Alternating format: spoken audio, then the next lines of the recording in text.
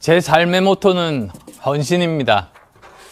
지난 총선 참패로 모두 절망에 사로잡혀 있을 때 저는 정권 교체의 희망의 불씨를 살리기 위해서 서울시장 출마를 결단했습니다. 대통령 꿈을 내려놓았습니다. 정권 교체가 더 중요했기 때문입니다. 지난 대선에서 윤석열 대표와 단일화로 정권 교체에 기여했습니다.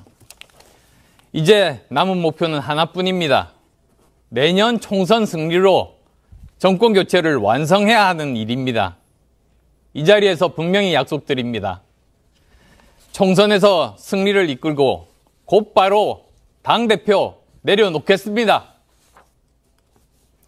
안정의석 확보한 후에는 다른 분이 맡아도 좋습니다.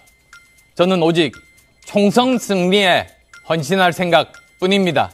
고맙습니다.